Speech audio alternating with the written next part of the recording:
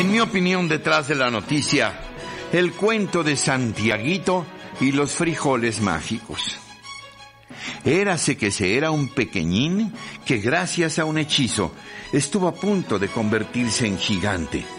Un verdadero héroe, como el niño aquel que tuvo el valor de gritar al paso del arrogante, ridículo y estúpido monarca, el emperador va desnudo, el emperador va desnudo, o como el minúsculo David, que apenas con una piedra y su onda se enfrentó y derrotó al descomunal Goliat armado hasta los dientes.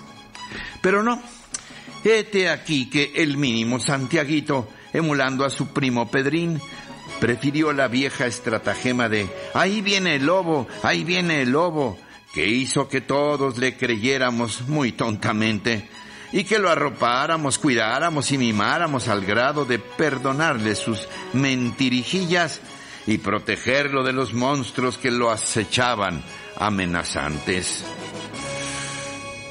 No se lo fueran a comer. Y es aquí donde se confunde el relato.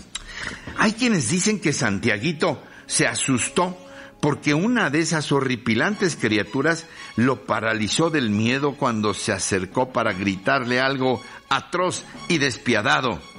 ¡Bú! Lo que fue suficiente para que Santiaguito desandara el camino, dejara atrás el peligroso bosque encantado y se dirigiese a la grata colina de la mediocridad. En cambio hay quienes aseguran que lo que realmente ocurrió fue mucho más sencillo.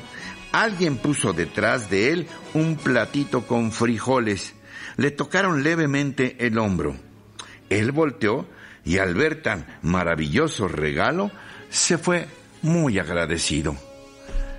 Pero ya dejándonos de cuentos, la página ahora le tocaba escribirla al Senado de la República y esta pequeña historia ya no es nada graciosa.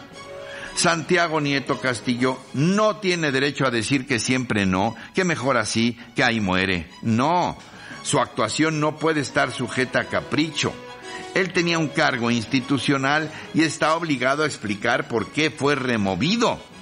¿Qué sabía de espinosísimos asuntos que lo llevaron a conflictuarse con el gobierno federal, que por eso decidió cortarle la cabeza. Y a propósito, su Robespierre Región 4 también debe comparecer para que explique qué lo llevó a guillotinar al entonces titular de la FEPADE sin siquiera escuchar sus razones. Si no es así, navegaremos sin brújula ni rumbo en las procelosas aguas que desembocan en el 2018.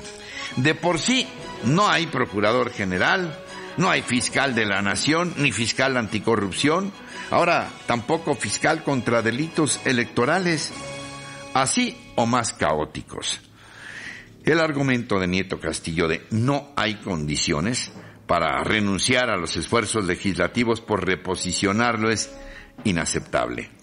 La frase hecha pero de moda es tan odiosa como aquella que reinó durante décadas por motivos de salud. Hmm.